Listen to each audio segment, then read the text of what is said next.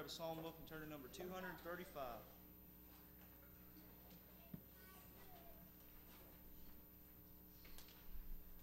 Number 235.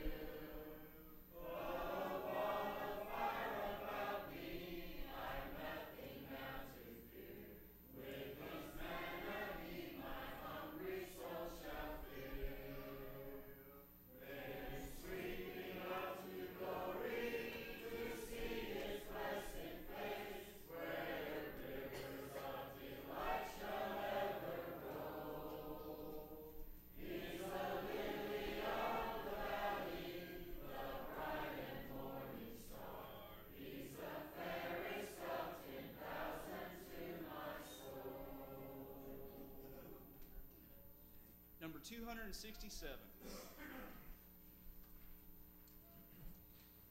267. We'll sing the first, second, and fourth verses. 267.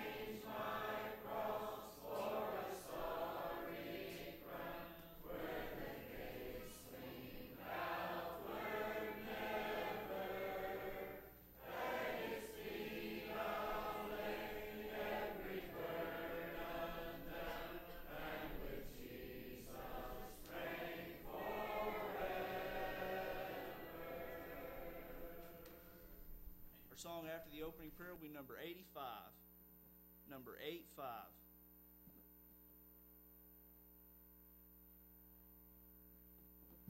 Good morning. This is Robbie Hughes speaking for the Church of Christ.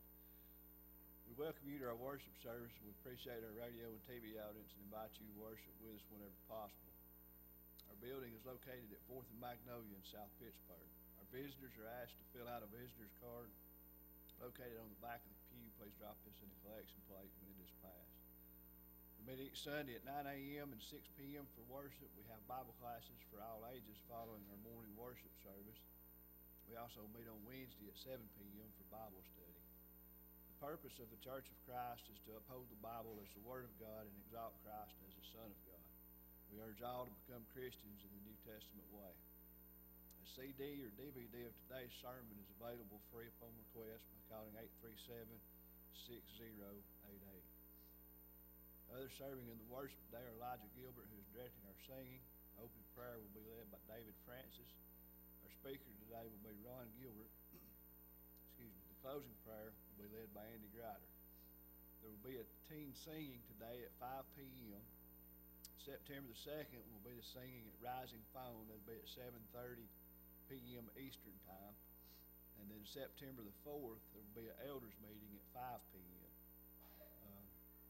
Remember our gospel meeting October the 2nd through the 5th will be Roger Comstock will be the speaker. There will be dinner after Sunday school, and Group 3 will be in charge. And the elders have asked to meet today after class. Check the bulletin for a list of the sick of the congregation. Remember Marion Grider, Larry Lockhart, and Larry Allen Lockhart. Uh, keep these in your prayer. Remember uh, Jeremy Jackson's father, Wesley Jackson, is in the hospital, and Ed Hill passed away. We now have our opening prayer.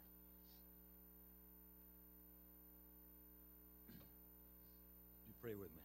Heavenly Father, Almighty God, hallowed, hallowed be their great name. Hallowed. Father, we thank you so much for the for the privilege we have, for the freedoms we have in this earth today, in this country, as we we don't know that that you're just going to give us leaders that, that we deserve, and direction we're going, we may not deserve very much, but Father, help us to be stronger as we face the adversities that are surely coming to our, the young children and to the people that are trying to striving to further your cause and to be a good influence and try to try to teach people around them and and all of the different diverse views that we have father. Help us to say the right things and behave ourselves in the appropriate way pleasing to you. Father as we think about the work here at the church we thank you so much for the active leaders we have for the elders the deacons and the ladies that do so much the teaching and the work here to keep this an ongoing concern and we thank you for their effort, and we ask you to bless their hearts and prayers as they try to make us a growing church. We need to spread the gospel in this community, uh, as all churches in your brotherhood do. Father, be with the mission field we have, where the people are much more receptive. We thank you to, we ask you to bless our finances, the people, and the decisions that our churches make in our brotherhood as we try to decide how much support to give, where the conversions are actually taking place, and many more than we are locally and in this country. We thank you, Father, for, for this great effort, for the attitude of the people that have dedicated their lives to go throughout the world and preach your word. Father, we ask you to be with the, the with the Ron this morning as he presents a word of the truth. May he present the truth the way you would have him give it and understand it. May we all understand it, what you want us to get out of this message. Father, as we continue to worship this morning, we ask you to forgive our sins and help us to look forward to that great day as we try to think about the many sick and the older people and all our brotherhood here. We thank you and bless them and heal them if it be your will. Keep us forgiven and keep us strong, Father. In Christ's name we pray and amen.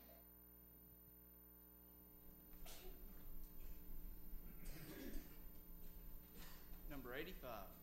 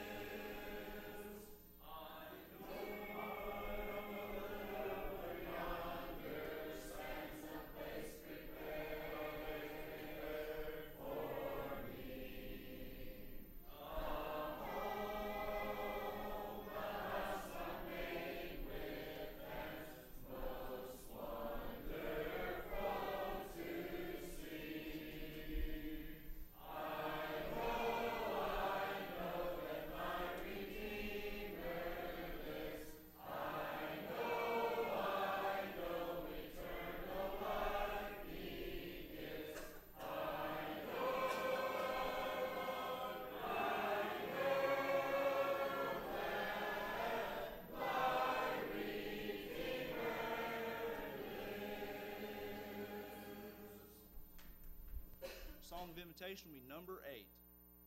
Number eight.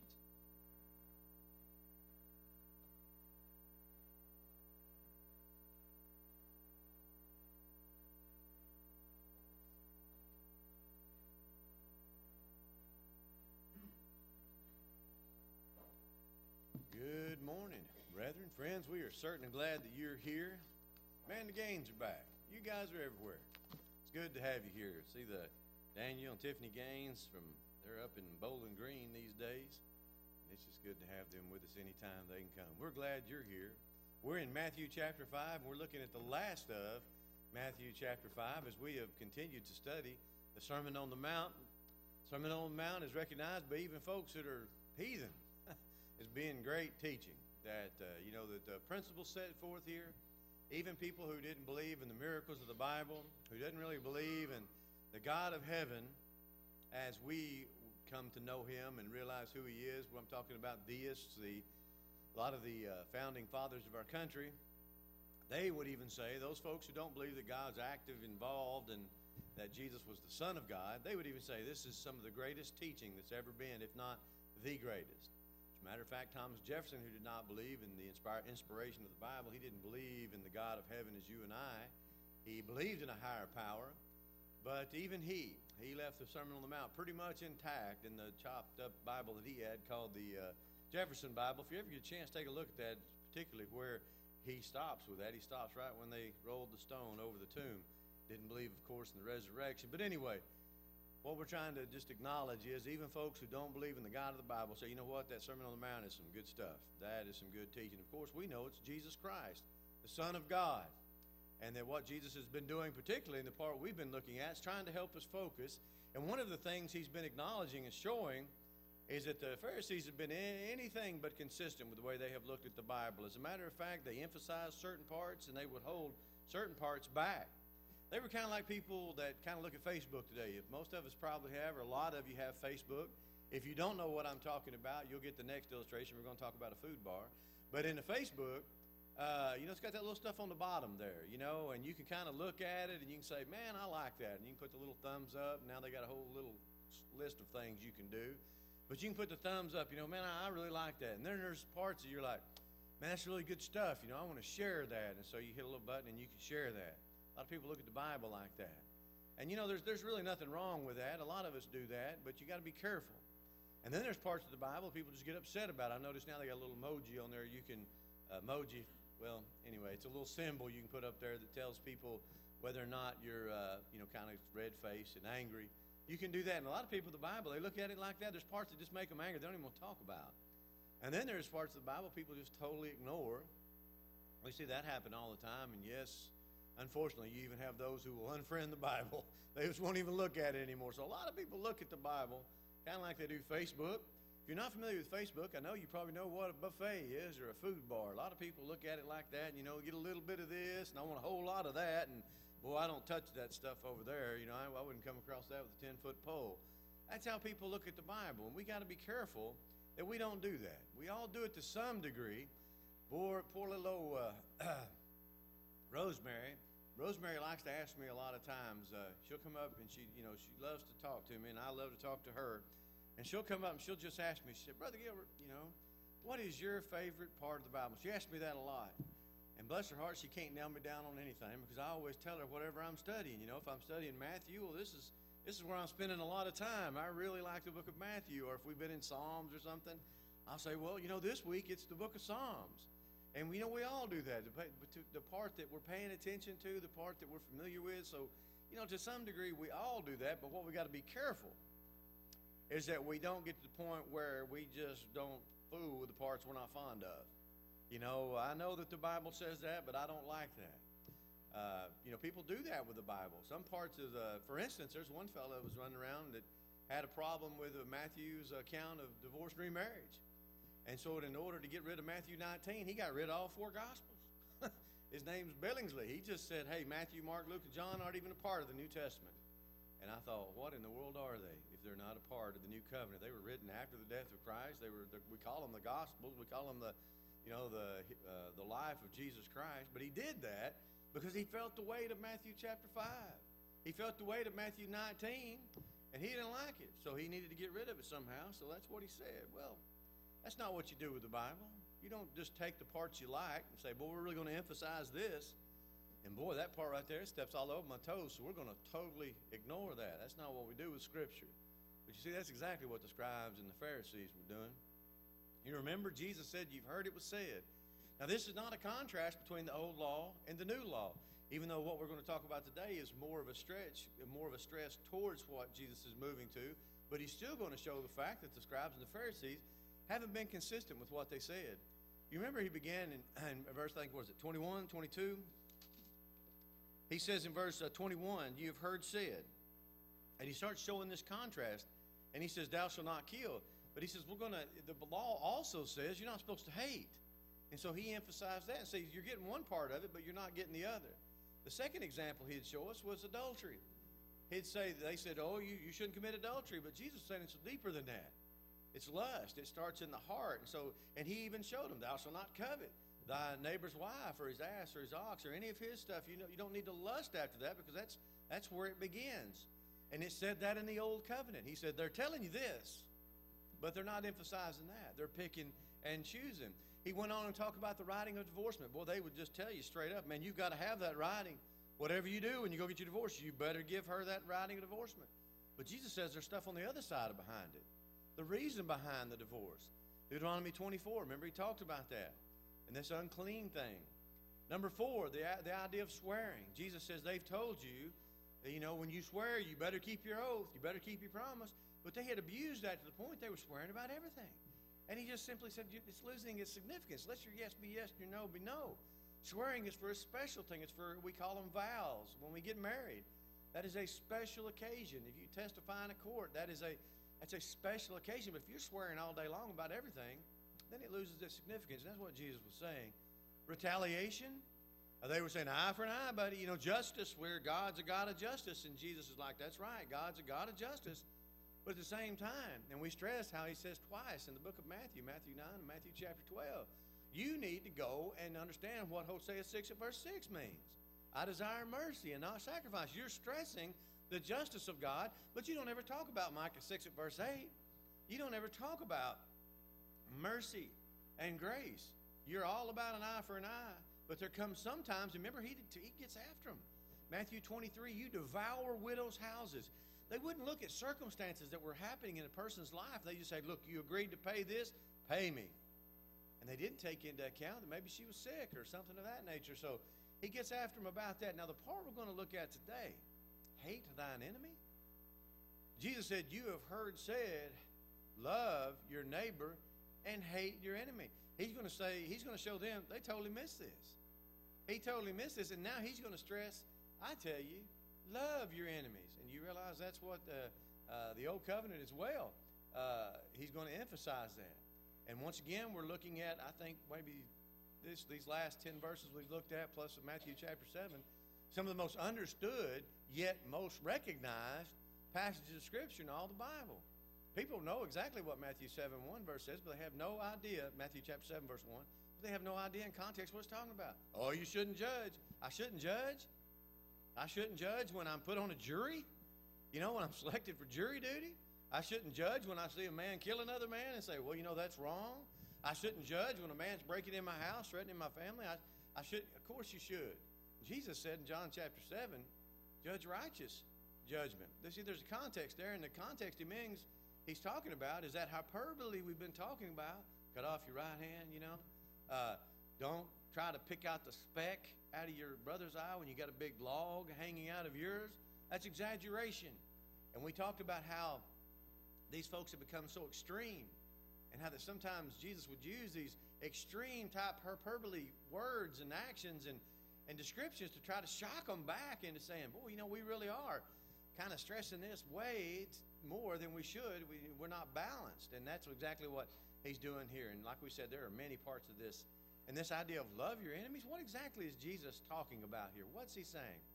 Well, in Matthew chapter 19 at verse 8, notice the Bible says, the second part there, but thou shalt love thy neighbor as thyself. That's exactly what Jesus is saying here. Notice with me in verse 43, you have heard that it hath been said, thou shalt love thy neighbor. Jesus doesn't have a problem with that.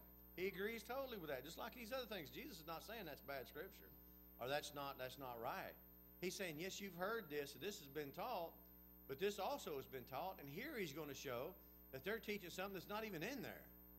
Love thy notice, he says, love thy neighbor and hate thine enemy. But Jesus says, But I say unto you, love your enemies. Now, what's he talking about there? Let's go over, for instance, in uh, Exodus chapter 23. We're going to look at verses 4 and 5.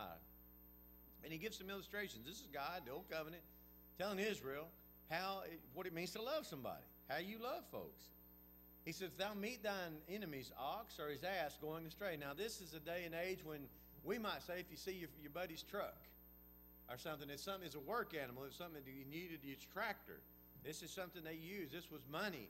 This was an investment. This cost somebody something. They were important part of life. It'd be just like today you see somebody's tractor out in the field uh, run into a tree or something all by itself. Something you know. You just put that in kind of today's language. If thou meet thine enemy, this is an enemy. This is somebody that doesn't wish you well, and you know you're not particularly fond of either. If you see your enemy's ox or his ass going astray, in other words, you, you see that animal, you recognize it, thou shalt surely bring it back again. Bring it back to him again. Now notice verse 5.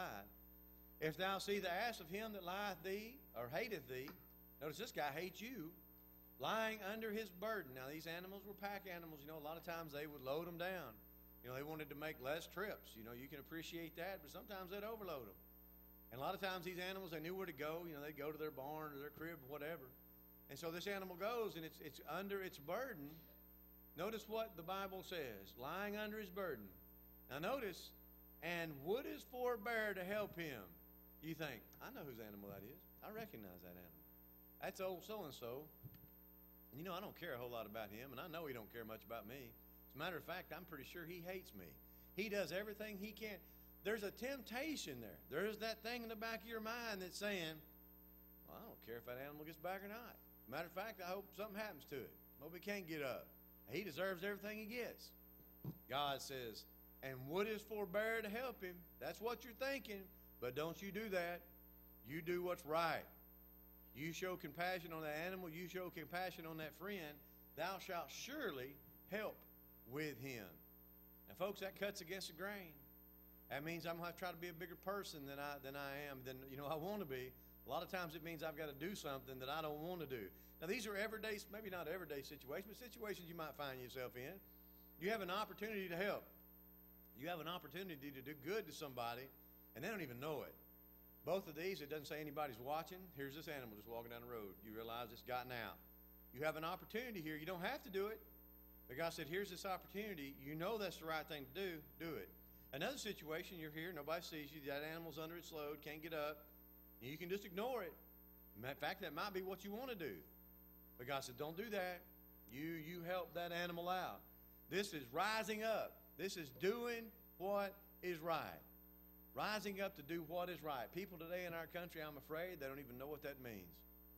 They don't care about other people's feelings. They don't care about other people's property. Sometimes they'll destroy property just for the fun of it. Just to say, I wonder what they're going to do without that now. Just take away something from somebody else, many times not so they can enjoy it, just so they cannot enjoy it. Some people get pleasure out of the fact that they're taking something from somebody. Isn't that amazing? But I think that's what we have a big trouble with today, a lot of trouble. And it comes from the fact that people don't know what to do. They don't know they don't think about doing right. They don't have respect for each other. They don't have the kind of love that we're going to talk about this morning. Watching a program not too long ago. I have on here killing each other for a cell phone. They didn't even kill each other for a cell phone. Man shot and killed another man and his girlfriend because they had just alleged that he had took her phone. Do you believe that? Two lives were taken.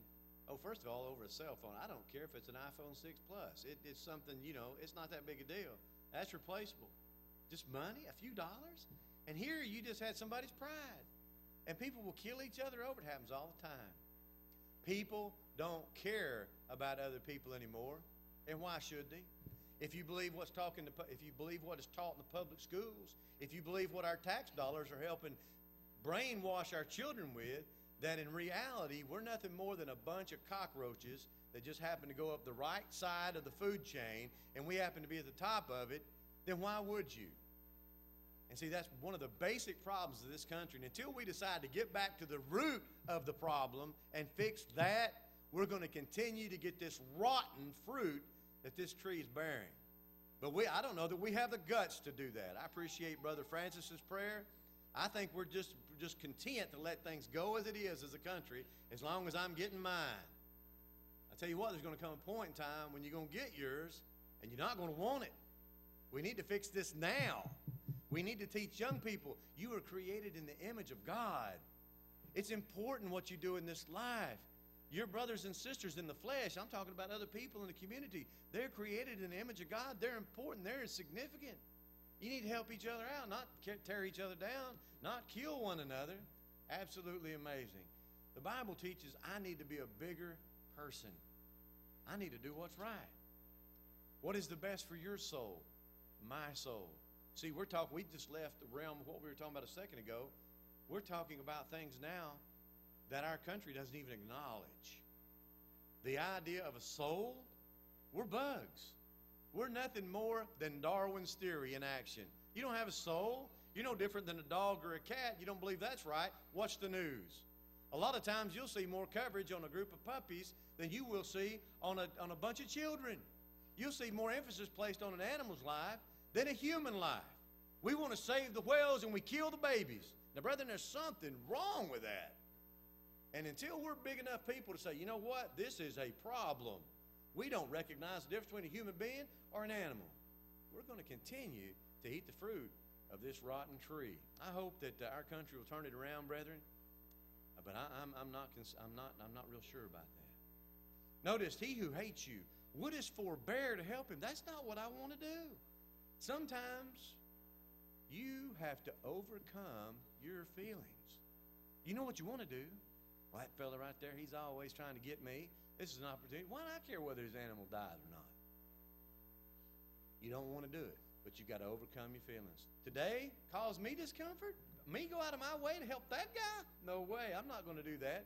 Jesus is right here saying we're going to do that. We need to do that. But I say unto you, the Bible said this. Notice Proverbs 25, 21. If thine enemy be hungry, by the way, Paul quotes this. If thine enemy be hungry, give him bread to eat, and if he be thirsty, give him water to drink. Now, here's the part you remember. For thou shalt heap coals of fire upon his head, and the Lord shall reward thee. Now, that doesn't mean that you're going to help hurt him. The idea of the coals of fire there, remember when you were younger and your conscience maybe was a little bit softer and you got embarrassed or you were ashamed of something? Remember that? How your face might just fluster up. You ever seen the, sometimes you can do that with young children today. You start talking about being boy kissers or something. I remember when we first started coaching softball, one of the tools my we coached a little girls team.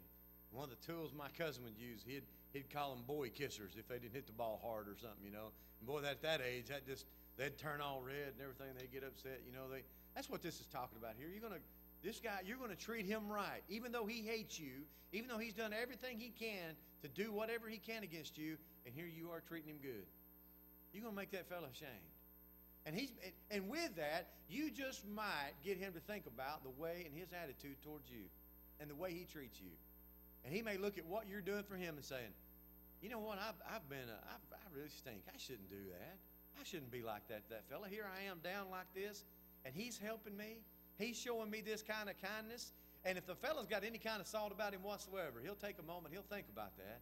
Say, you know, I need to change my attitude. That's what this is talking about here. Make him rethink about how he's treating you.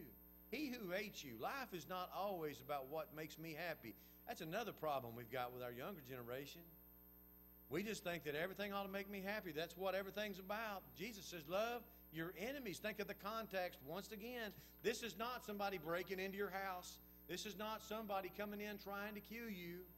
Okay? You have a right to defend yourself. We talked about this a couple weeks ago, where Jesus even told his disciples, Go out and buy swords. The time's going to be you're going to have to have one. You can defend yourself. That's not what this is talking about. This is also, friends, brethren, not, not somebody that's been, that, you know, somebody that's convicted of murder. They're on death row. And sure enough, you'll have some preacher somewhere that takes this out of context, and he'll get a group of people together, and they'll go protest the state bearing the sword because uh, they bear it not in vain, Romans 13. And they'll say, oh, no, we shouldn't kill people. We shouldn't kill people. We, we're supposed to love our enemies. Well, now, friends, this is not talking about the states executing prisoners. What this is talking about is a, is a now, think about this. The very same law that Jesus is quoting in Genesis chapter 9 and verse 6, the patriarchal, the very foundation says, Whoso sheddeth man's blood, by man's hand shall his blood be shed. The very same law, when it got to the Mosaical economy, had no less than, I think, a dozen capital crimes where people were to be put to death. This is not talking about executing folks who are worthy of death. Remember what Paul said If I have done something worthy of death, I refuse not to die. That's not what this is talking about. No, there are certain things that the government should be doing, and one of those things is protecting me and you. And the death penalty is a serious, serious deterrent. If you don't believe me, look at the capital, rate, uh, capital crime rate from Texas to, say, California. You'll see a lot of people realize if they do something in a certain area, they're going to be punished for it. That's not what this is talking about at all. But not introducing something new here. He is telling them, You've been misled, you've been mistaught. It's not okay to, to hate your enemies. And he's teaching them what the law really taught, and now he's going to emphasize it even more. And people ask, and I mean rightfully so, they'll ask me and you, how in the world are you supposed to love your enemies? Really? Love your enemies like you love your children, like you love your spouse. This guy is doing everything he can to cause you pain and, and getting your, you know, just, just ugly to you. And you're just supposed to run up and hug him and embrace him and just, oh, you know, that, that.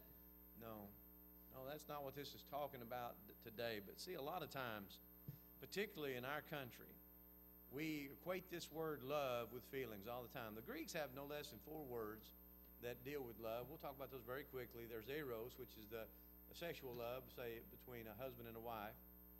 That's never used in Scripture.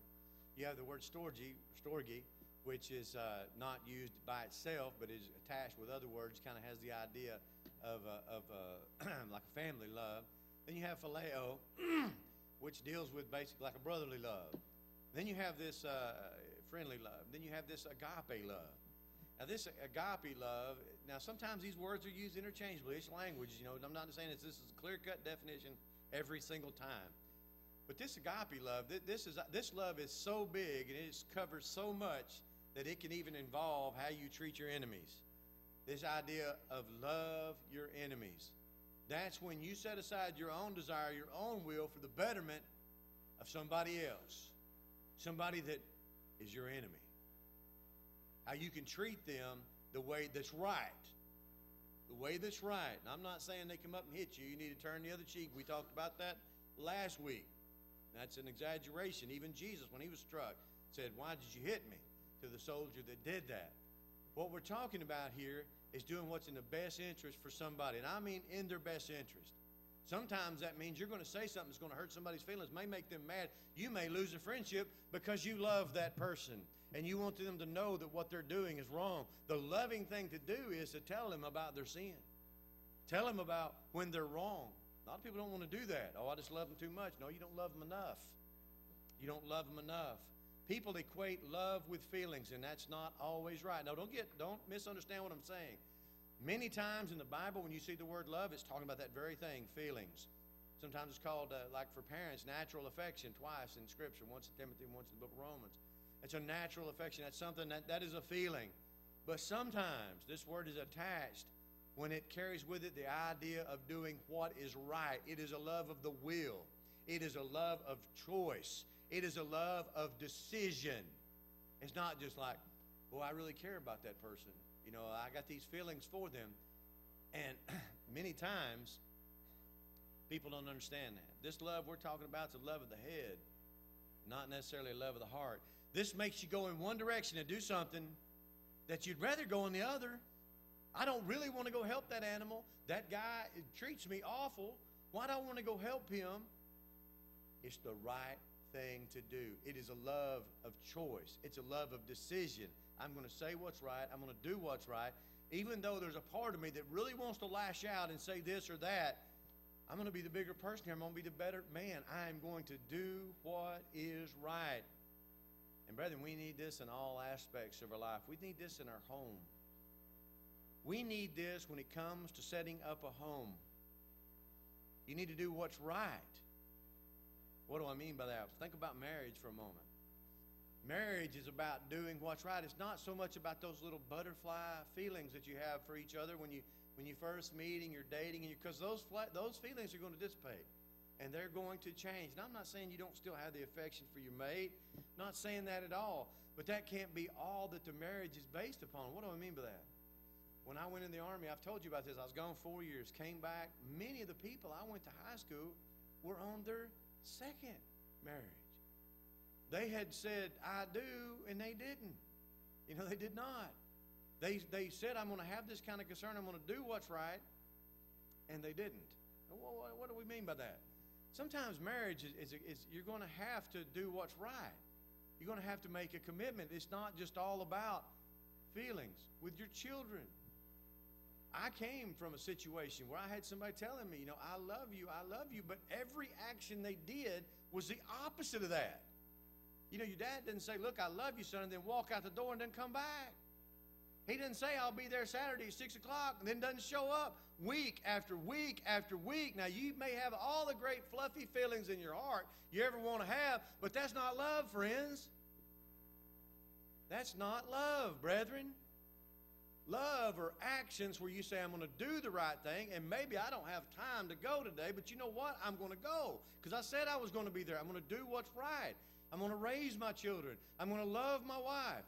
I'm not going to do this because that would hurt my family. It is a decision. And sometimes they're not decisions you want to make.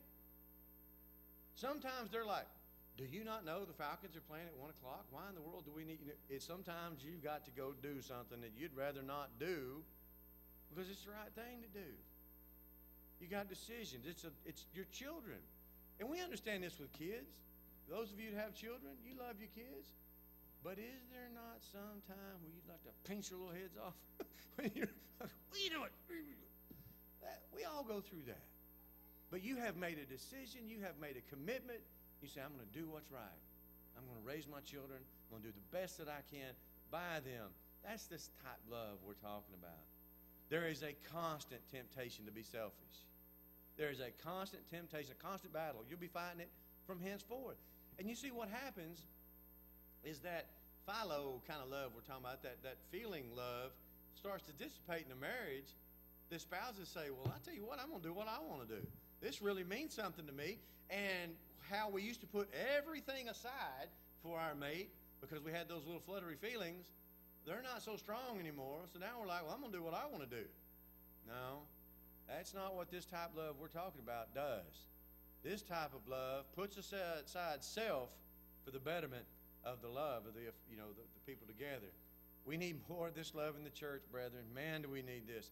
You know, as we spend time together over a period of time as a congregation, you know how this goes. You spend time at a place, you start to know each other, you know what it makes each other go, what makes each other tick. And then sometimes somebody you cannot like somebody a whole lot. You know, you have your friends, and then there's the folks you don't know. Then there's folks that you don't really get along with, and you know what makes them go. You know what flips their switches. And sometimes you'll find yourself being tempted to, to say that or do that just because you know it gets under the skin. That happens in a church family just like it does in a real, live, physical family where you have siblings. And all you siblings out there that have brothers and sisters, don't tell me you don't know what, what I'm talking about. You know exactly what buttons to push. You know exactly how to get the other sibling in trouble because you know what riles them up. That's a part of it. That can happen in the church too. And we can grow cold we can grow inconsiderate of each other. And we don't have the patience that we once did. Now, some people handle this differently. Some folks just say, you know what, I'm going to change congregations. I'm just tired of them folks over there. I can't get along with them anymore. And so basically, what we do is we go and we start another honeymoon somewhere. You know, it is so easy to love and like people you don't know, isn't it? Hey, he's a good fella, man. This is a good church. I, I, don't, I don't know any of these people, but boy, they are all friendly to me today. But over the years, as you start to get to know each other, it gets to be harder and harder. It's easy to like people when you don't know them. It takes a lot of effort to stay together. When you start having to realize, you know, and just like in a family, some people are strong over here, they're weak over here. Some people get on the nerves here, some people don't. I've got to be patient with folks. I've got to love them. Do the right thing. We need all this. Why? Verse 45. That you may be the children of your Father, which is in heaven. What do you mean, Jesus? For he maketh the sun to rise on his people, and he don't let those, those sinners over there those evil people have any sun? No. What does God do? He makes his sun to rise on the evil and on the good. The rain, he gives it to the just and to the unjust. God's good to everybody, and you are of your Father, God. So you need to treat people right. God, that's what Jesus says. You need to treat people right. Well, I love my own. This is my little circle right here. This is my box. I treat everybody in this box good. Jesus said, ain't good enough. That ain't good enough. Verse 46. For if you love them that love you, what reward have you? In other words, what good is that? Don't the sinners? Don't people outside in the world do that very thing? Don't they treat those that like them better? Isn't that how it works? Jesus says you got to do better. That's easy. Verse 47 If you salute your brethren only, what do you more than others? Do not even the publicans so. Be therefore perfect. That's where it gets tough. That's where the rubber meets the road. This idea of being perfect. I want to t- stop here for just a second. We'll spend a few moments here. That clock back there is four minutes fast, by the way, if y'all are looking. What do I mean? Perfect has the idea of being complete. It does not mean that you are sinless. Now, there's some folks that's called perfect in the Bible, and they were by no means sinless. Noah is referred to as being perfect. It means complete. It means upright. He's, he's balanced in his life. You see what we're talking about, the scribes and the Pharisees? They had issues in other places. They would emphasize this and show everybody how holy they were, but when it came to mercy and love and things of this nature, they weren't anywhere they needed to be. They weren't complete. They were not perfect. The Bible here, Jesus says, Be ye therefore perfect, even as your Father which is in heaven is perfect. What do I mean by that? Sometimes you may have a fella that's not what he ought to be. He seems to be real great at church and everything. He's friendly with everybody. When he gets home, he doesn't, doesn't treat his wife right. You see, he's not perfect. He's not complete. You may have a fella that, uh, man, he's, he's actively involved. You know, he does, you know, as far as you know, he's a good guy, but he gets to work and he's mouths like a sailor. Uh, any of you sailors in here, I'm, you know, that's just an old way of explaining. Uh, doesn't talk. He uses a lot of colorful metaphors. He's not what he ought to be. Not perfect. You see, what we're trying to do is be perfect, trying to be complete, and trying to look at everything evenly. Don't be like the scribes and the Pharisees, emphasize one thing, just totally forget about something else. We're trying to be per- perfect. Noah is described as perfect and walked with God. Uh, Abraham is described as perfect, Genesis 17, 1. Uh, Job, perfect and upright, Job 1, verse 1. These were men that were not perfect, sinless, but were doing the very best that they could conscientiously to be what they needed to be, to be what God would have them to be. That's the idea of perfect here not lacking, just one area of their life they're just not fooling with. Brethren, think about that for a moment. It, it causes me to think. I've got a good friend I think a lot of. I listen to him preach a lot. And he, he was going over this very thing the other day, and he was talking about how this guy worked real hard over here, but he, but he wasn't treating his wife like, like he ought to. And I thought about that, and I immediately texted my wife. She can tell you it was the other night. And I said, uh, I just want you to know how much I love you and how much I, how thankful I am for you and how much I appreciate you. It caused me to stop and think for a minute. I don't think that I mistreat my wife, but there's times that I don't treat her as bad. As, I really like her. I, you know, for those of you, uh, we hang out together a lot. She means a lot to me. But sometimes I, I don't tell her that, and I'm not saying that you don't do that, or, but it just think about the roundness of your life, your totality of your life, things you could do better, things that maybe you don't being perfect has with it the idea of trying to be round, doing all the right things. I know that's difficult. We can't be perfect, but don't just let something lack. Don't not emphasize the small things that because when it comes to your family, when it comes to the way we treat each other in the congregation, these are some of the most important things in your life. And it's not your job. One of these days, they're going to get rid of you. You know, you're going to retire or whatever. And then you go back in, and it's like they don't even want to talk to you anymore. You know, you don't have a place anymore. It, but your family, your church family, these are these are significant things that I think sometimes we don't we don't stress as we should. Jesus says basically, get outside your box. Now the box is where we're comfortable. We mean get outside my box? Talk to other people. Spread your influence. Don't just salute your brethren. Don't just salute your family. Talk to other folks. Spread your influence. Be let that little light shine everywhere that you go. In Matthew 5, brethren, you, you've seen what we've looked at here from being poor in the spirit all the way here to love your enemies. Jesus is saying he's raising the bar on us. I don't care who you are, this sermon, it runs on you. It runs on you because you're like, Jesus is saying, I need to be here. And right now, man, I'm thinking I'm down here. You know, I've got I've got to do some in all of us. If you're feeling that way this morning, you are not alone. I'm right there with you.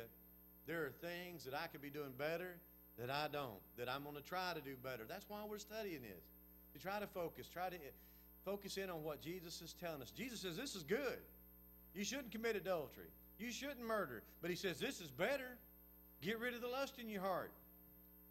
And then finally, this is best. Not only get the lust out of your heart, but try to help other people be the kind of family they ought to be. Try to have the influence on them and the encouragement on them. This is good. This is better. Christianity said, let's do what's best. Let's get outside. Let's raise that bar. Scribes and Pharisees, just not perfect, just not complete. Remember what Jesus said, unless your righteousness shall exceed. You know, these guys were picking and choosing. We don't need to do that. Friends, God's good to us. Shouldn't we be what He wants us to be? Perfect and complete. And let me tell you something. You can't, you're not going to be sinlessly perfect. You know, you're not going to live a life where you never sin, even until you become a Christian. That ain't going to happen. You're going to make mistakes. You're going to make matters and you know errors in judgment from time to time. You'll have passion sometimes and maybe make decisions that later on you'll regret. That happens. But if you're not a child of God, you're not a Christian, you've not never obeyed the gospel. What do I mean by that? I mean you have repented of your sins. You have named Christ before men as believing that he indeed is the Son of God, that God hath raised him from the dead, and you haven't been baptized, there you're not even close to complete. You know, you're incomplete. As a matter of fact, the Bible says, let us hear the conclusion of the whole matter. Fear God, keep his commandments. You're not doing that.